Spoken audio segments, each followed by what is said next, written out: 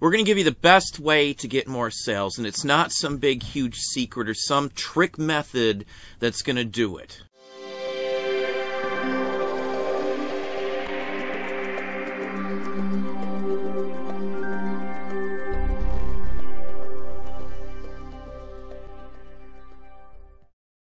Hey, it's Don. Today we're going to talk about sales, getting more sales.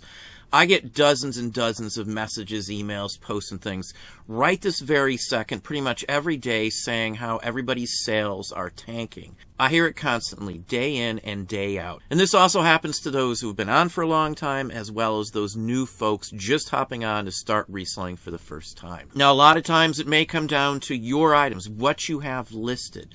Number one thing you can do to make sure you're going to get sales is to only list good items. And that comes down to researching them. The prices are there for you to dig into. You can find the prices of what items sold for on a specific site like eBay through Terapeak very easily. You can see every item that's sold in the last year on the platform and what it's sold for. So there's no real reason why you can't track down the price. The biggest thing, though, I can tell you that's always, always, always got us sales, no matter what I'm doing, is list more items.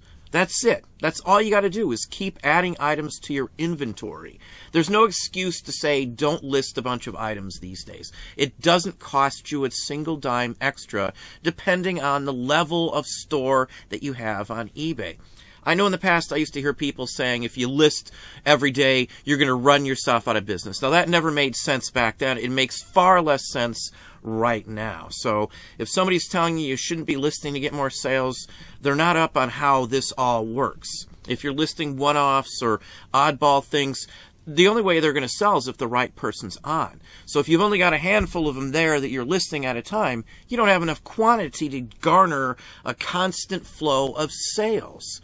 It's not just about quantity, though, as I said in the beginning. If you don't have good items, they're not going to sell. You could have a million items up, but if they're all garbage, it doesn't mean a solitary thing.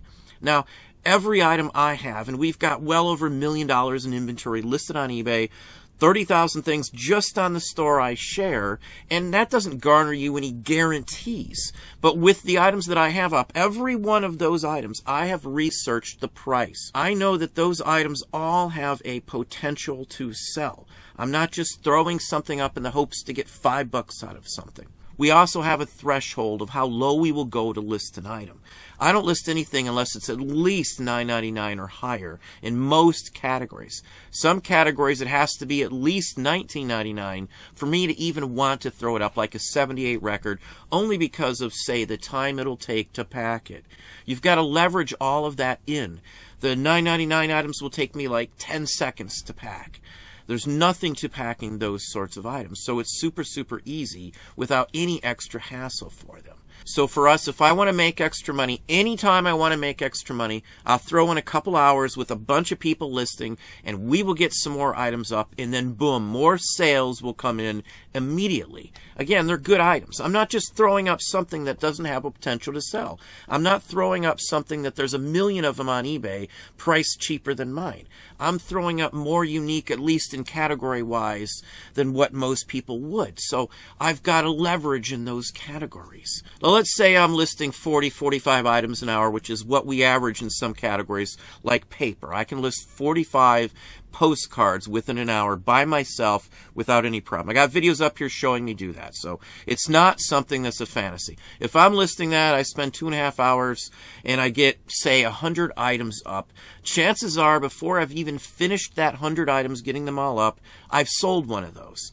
That's usually what happens. And again, my profits are 3x what most people else would get for some of the similar items that we sell. Again, it comes down to keyword, comes down to photo, it comes down to your expertise in those items that you are selling. Most people would go to someone who knows what they're talking about in a specific category and buy from them over somebody who is clueless on many of the items that they are selling.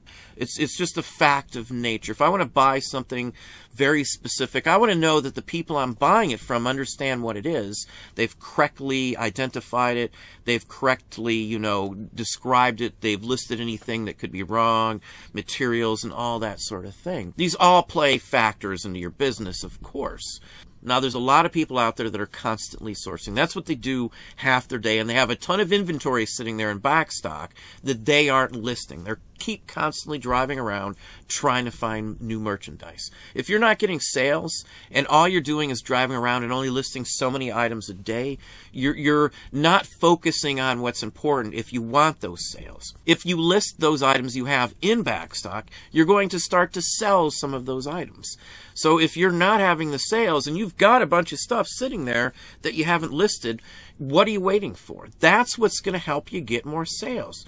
The more items you have up, again, there's no extra fees depending on your store level. And even at the store level prices, it's not that much compared to how it used to be. It's fairly cheap to get the exposure for the listing itself these days on eBay.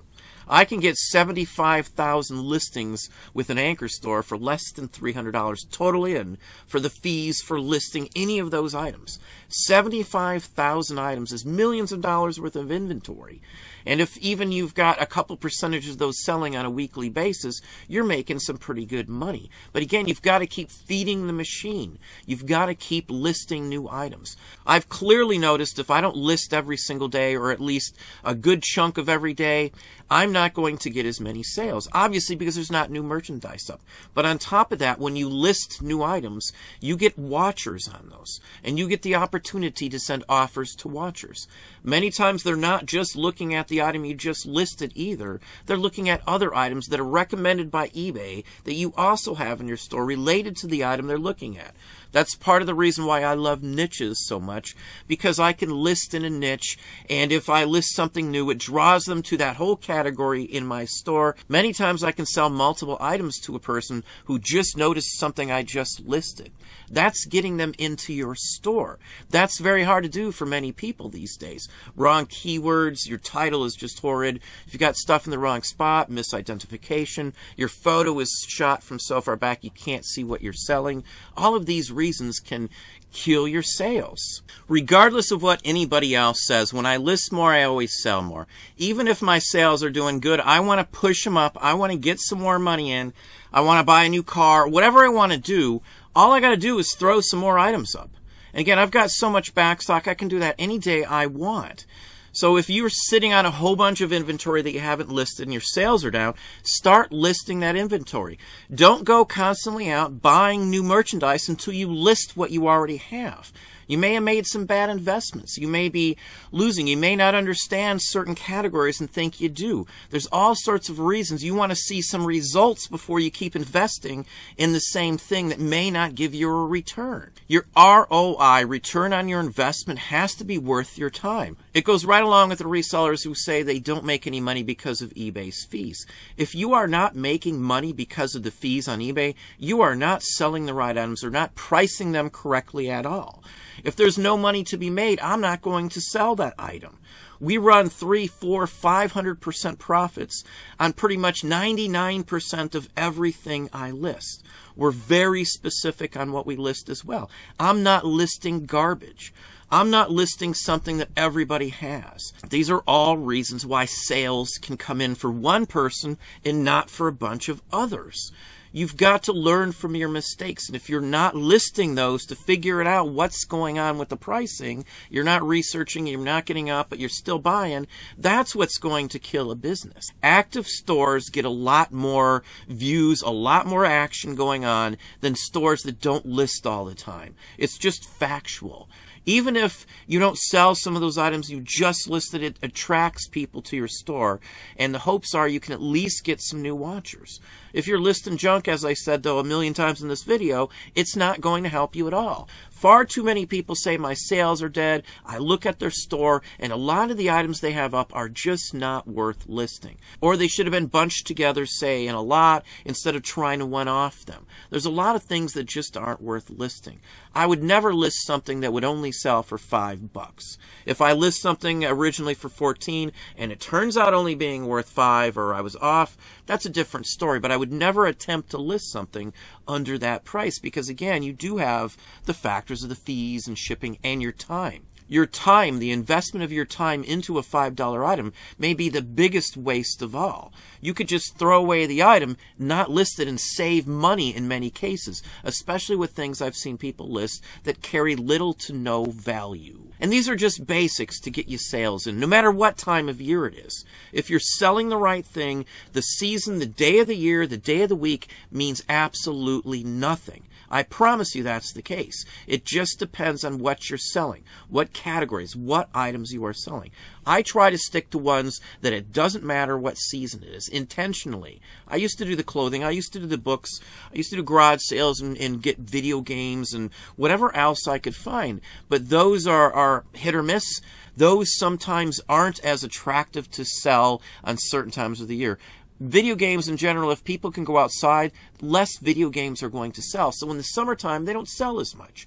So that adds sometimes to the summer drop off that many people have, that many people experience. Now, we don't have that drop off like many other people do. Right this second, right now, this month right here, we just started August. We've been rolling in the same numbers we do in fourth quarter straight through. Again, collectors collect I'm listing good items. I'm listing them constantly. Every day there's action going on.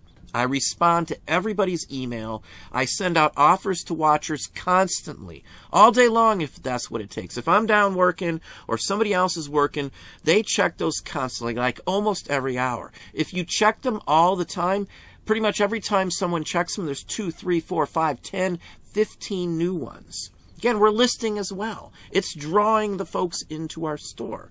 If you're not putting new stuff up, you're not getting pushed in front of potential buyers, you're missing out. You're not going to even get them into your store. You want them not just to see the one single item that they happen to come across through a search, you want them to come into your listing and click on your store to see your whole group of items. You've got to have good items to do that. You've got to have a draw for them to want to come into your store. That's why zoom ins and big popping good close up detailed images do so well because it draws attention to it over and above what other people have up, even if it's the exact same thing. That all comes down again to having good items that you're listing constantly with good photos, good titles, good keywords, good information, and good understanding of what the item is you are selling. Having 10,000 items up or 30,000 items up like we have in the store we share means nothing if they're junk. End of story. Just list constantly good items and your sales will go up. It's a no brainer. That's how it works. There's no secret, there's no trick. You don't need to get a course from me or anything else like that to know that. You list new items, you'll get more sales. I'll leave it at that. If you enjoyed the video, please smash that like button down below. You can also hit the bell icon to be notified if I post new content or go live. Subscribe and tell all your friends.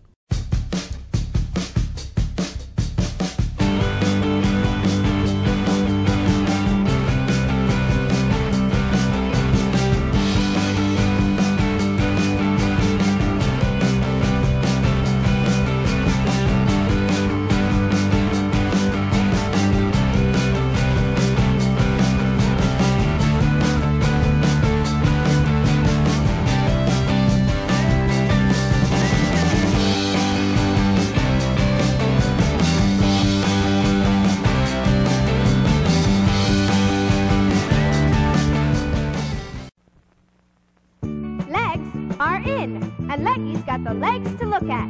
Leggy's got the legs to look at. And you'll like to show her legs. Leggy with great long legs and crazy wild costumes. Leggy's got a dynamite look. Leggy's got the legs to look at. And you'll like to show her legs. And you'll like to show her legs. Leggy, four different dolls, each with her own costume, each sold separately.